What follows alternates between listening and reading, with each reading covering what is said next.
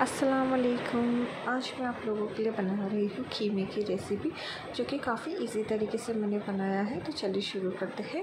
तो यहाँ पे मैंने कुकर लिया है, उसमें मैं एक चम्मच ऑयल डाल दूँगी। ऑयल जैसे ही गर्म हो जाता है तो मैं इसमें अक्खा गरम मसाला डाल दूँगी। तो मैंने सबसे पहले यहाँ पर एक दालचीनी डाल दी है और थोड़ा सा ज़ीरा डाल दूँगी। यही मैंने दो गर्म मसाले का यूज़ किया है। आप चाहे तो और भी कर सकते हैं, जैसे कि लवंग है, काली मिर्च है, जो भी है, आप डाल सकते हैं बट मैंने यहाँ पे से दोनों का यूज़ कर सकते हैं मैंने यहाँ पे ज़ीरा डाला है, ज़ीरे के जैसे ही चटकने लग जाए तो मैं यहाँ पे प्याज डाल दूँगी। मैंने यहाँ पे दो से तीन मीडियम साइज़ के प्याज लिया थे, जिसे बारीक कट करके डाल दिया है। प्याज को मैं फ्राई कर लूँगी और प्याज को हल्का गोल्डन ब्राउन होने तक ही फ्राई करना है। ज़्यादा फ्राई करना, नहीं करना है। ज़्यादा ब्राउन नहीं होने देना है क्योंकि वो अच्छा नहीं लगता है। तो जैसे ही हमारा प्याज हल्का गोल्डन ब्राउन हो जाता है तो उसके बाद मैं उसमें ऐड करूँगी कीमा। तो यहाँ पे मैंने पाव किलो कीमा लिया था, यानी कि टू फिफ्टी ग्राम्स कीमा।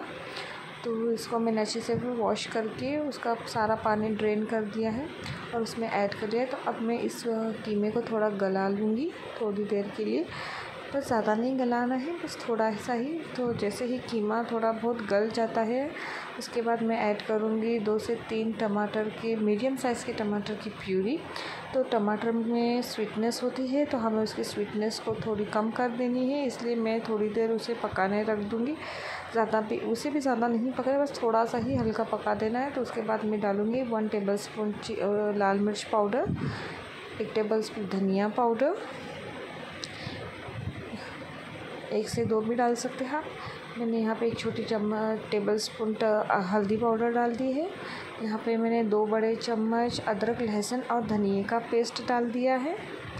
एक टेबल स्पून मैंने नमक डाल दिया है और इन सब चीज़ों को मैं अच्छी तरीके से मिक्स कर ताकि ये जो सारे मसाले हैं वो कीमे को कोट हो जाए और हमारा कीमा बहुत ही टेस्टी बन जाए।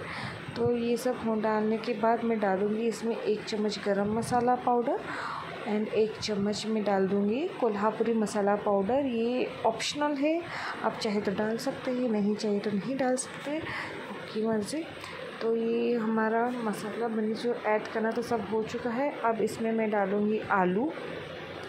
तो आलू मैंने यहाँ पे दो आलू लिए थे, जिसे क्यूब्स में कट कर लिए हैं। थोड़े बड़े क्यूब्स में कट कर लिया है। और ये आलू को भी मैं मसालों में सारे कोट कर लूँगी मिक्स करके। तो आप चाहे तो आलू डाल सकते हैं, लेकिन मैंने डाल दिया है, ये भी ऑप्शनल है। और आलू डालने के बाद मैं थोड़ा सा पानी डालूँगी, ज़्यादा पानी नहीं डालना है, क्योंकि कीमे का पानी ऑलरेडी निकलता है। इसलिए मैं इसमें सिर्फ़ थोड़ा सा पानी डाल दूँगी। पानी जैसे डालने के बाद अब मैं इसमें सिर्फ़ लास्ट इंग्रेडिएंट बची है, जो है कसूरी मेथी, इसे भी मैं डाल दूँगी। मैंने ये जो पूरी रेसिपी है, सब पूरी जो अपने घर पे अवेलेबल रहती है, उसी इंग्रेडिएंट्स के साथ में ही बनाए हैं मैंने। तो उम्मीद करती हूँ आपको ये मेरी रेसिपी इजी लगेगी। तो ये सब मिक्स करने के बाद अब हम कुकर के लीड को बंद कर देंगे। और उसे दो विसल, दो से तीन विसल तक ही पकाएँगे। दो विसल में भी हो जाता है। कभी कभी तीन विसल की भी ज़रूरत लगती है बट मोस्टली दो विसल की से ही हो जाता है। तो जैसे कि अभी हमारा दो विसल के बाद हमारा कीमा रेडी हो चुका है। आप देख सकते हैं, मैंने उसे कुकर के निकाल के मैंने उसे एक पैन में रख दिया। तो कितनी अच्छी तरीके से तरी भी उसकी निकल आई है। तेल भी अच्छा सपरेट हो चुका है। आप देख सकते हैं।